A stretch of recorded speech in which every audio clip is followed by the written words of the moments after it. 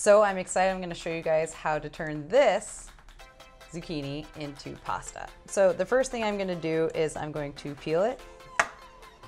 And if you don't have a spiralizer, you can actually just peel the whole thing. So you don't really need any crazy gadgets if you have a super small kitchen like I do. And, um, but I do highly recommend spending the, I think it's like, what, you know, 15 or 20 bucks on Amazon because it really does give you so many different textures. I think it comes with like three different blades. So it just kind of lets you play with something a little different. And today I'm gonna spiralize uh, zucchini because it's one of my favorites. It's really easy, it's fast, it's also what I had in the fridge. So there's that too. And you wanna make sure that you have a flat surface on each side because then that way when you are spiralizing, it's easy to grip into the teeth. Chomp, chomp, chomp right here, and then right in here. And then I kind of like to hold it down. And then it's that easy. Now, you're probably wondering, you know, do you want to cook it? Sure, you could totally saute this. But the reason I'm doing raw is because when you're eating raw foods, it's you're literally getting live nutrients into your body. And then you poop, taking this guy right out. And it just allows your body to have more fiber so you're able to push out any toxins that you don't need in your body and then you just kind of gives you smoother slippies, gives you more energy too, which is amazing. We're gonna put this guy in the bowl, but look at this. I mean, how is this not amazing pasta? It's like literally 30 seconds. Boom. So finished this little guy. The thing I love about, well, I like to call them zoodles, is that it's super easy. Check out this guy. Is that it takes minutes and it's so easy. And if you're trying to incorporate some of your favorite alternatives, is it's a great way to replace pasta for, for my pasta lovers out there. Now this here, you're probably like, what is this crazy? Kind of reminds me of like Jack and the Beanstalk, right? Pretty epic. This is actually a pea shoot green. Amazing, kind of reminds me of like spinach and a collard, but like very light, fragrant. Um, and this is an awesome alternative for like kale, spinach, um, any sort of green that you're wanting to use. But you could certainly throw in any one of those other green bad boys um, or anything else that you're thinking of. Just give it a little rough chop. Super easy.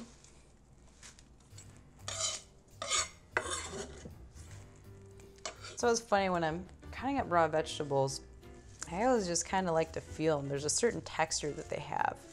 Um, totally different than when you're touching cooked food, you know? Um, and it's like, look at this colors. This already is so appealing. You know, we often forget that we really eat with our eyes. And when we see the color green, it actually creates a sense of peace and calmness in a lot of cultures. Even in Japan, part of the the cultural thing about pregnancy is that you're supposed to walk through the forest at least once a day to create more calm. So, eating greens, can you imagine the benefits? So, I've got some purple cabbage and I'm just gonna slice it up. But if you don't have purple cabbage, you can totally use Napa, white cabbage, um, any like broccoli, cauliflower, any other kind of cruciferous vegetable that calls to you. You just, you wanna slice it up as thin as you want. You can use a mandolin if you like. And it just adds an awesome flavor and texture. And cabbage, if you notice in a lot of Eastern cultures, like in Asia, like China specifically, they use a lot of cabbage. And one of the cool things about cabbage is that it has a lot of anti-cancerous properties and detoxifying agents in them. So if you're looking for an easy way to just kind of add something easy to your diet, just want to chop it up into smaller pieces. Make it a little easier for your mouth hole, right? It's like more time for chewing and a little space for talking. Let's get that in there. Crazy colors. Let's finish chopping this up. And as you can tell, like this is literally happening in minutes. If we were making pasta, we'd be boiling the water, we'd be cutting open the bag or the box, right? This, we're more than halfway there. Pretty awesome.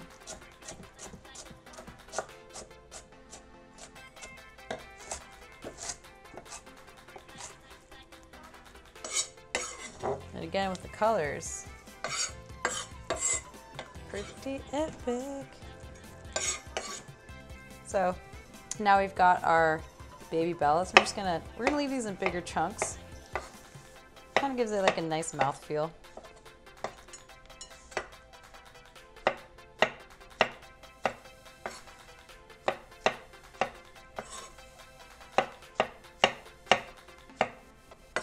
So we've got a lot of different textures going on here.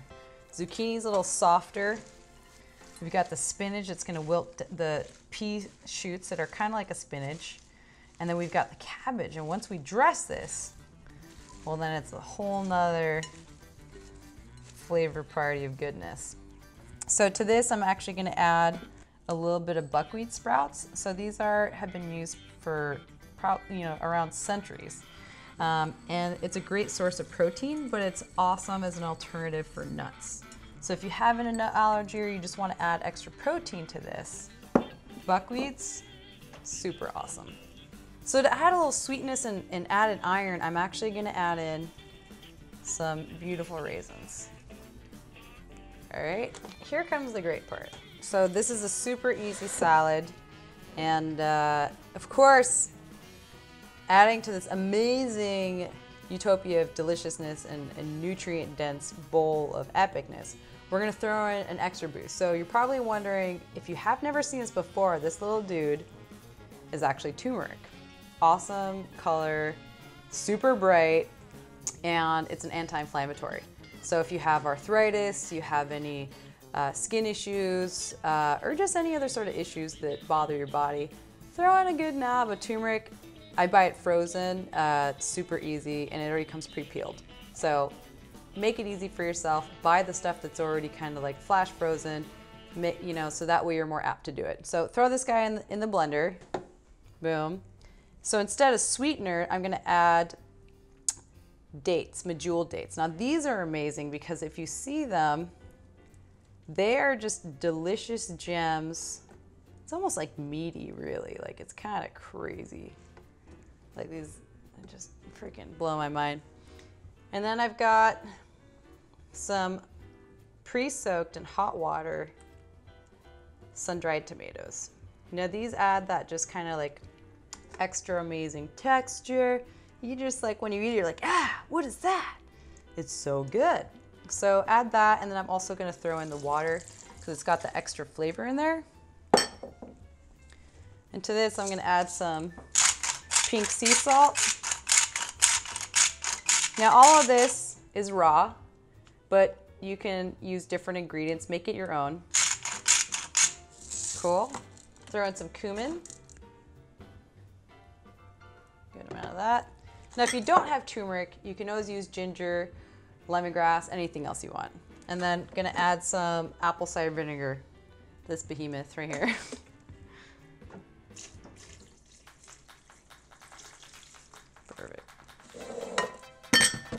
And then to make it extra creamy, I'm gonna throw in some tahini paste. You probably put in about quarter cup.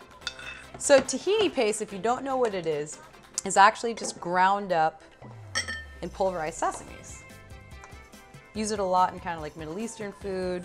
Um, and it just makes, it makes for an amazing substitute if you wanna make a super creamy sauce. So I've got some pre-chopped ginger and garlic, so I'm gonna throw in two scoops. Because garlic makes the world go around. deliciously. And then that's it. And then of course we'll give it a little taste along the way to see if we want to add more salt, anything else. But it's this easy, like literally just toss, cut, chop, peel, and throw it in.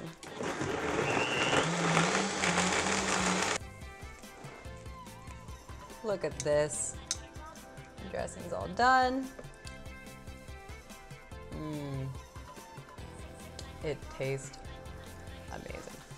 So first I'm just gonna give my salad a little mix. Kind of get all those flavors. in to that. You can hear the crunchy. You can hear the soft. Look at this beautiful colors. It's amazing. We're gonna toss in our dressing. And it's so thick, like you could really use this as a dip. Like it does not want to come out. but we're gonna get it with a little help from our friend, Mr. Tonks. Good old Mr. Tonks. All right, now you just give this a good mix. You wanna make sure it's all fully dressed. And the cool thing about this salad and salad dressing specifically is that the more you let it sit, the better it's gonna taste. It's like uh, if any of you out there are really into cooking meat and marinating it, basically doing the exact same thing. And with the vinegar in the sauce, it's actually gonna help break down the starches in the cabbage, making it softer, really turning it into something just like ah, super good. Look at this. I mean, this looks like, if you didn't know any better, some mayo drenched, you know, creamy, insane dressing. But it's not. It's just some simple, raw-gasmic, delicious pasta. This is like the real deal, guys. Come on.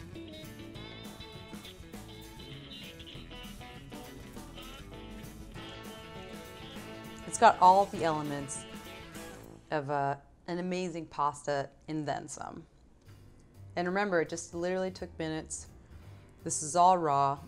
It's totally alive in every element, like from the colors that are bursting and flying out to the different textures from the buckwheat. And this is all full of protein. It's gonna make you feel amazing and delicious and alive. So give it a try. Swap out any of the ingredients that you feel inspired by and uh, make sure to share with us and let us know what you make. Excited for you guys to eat.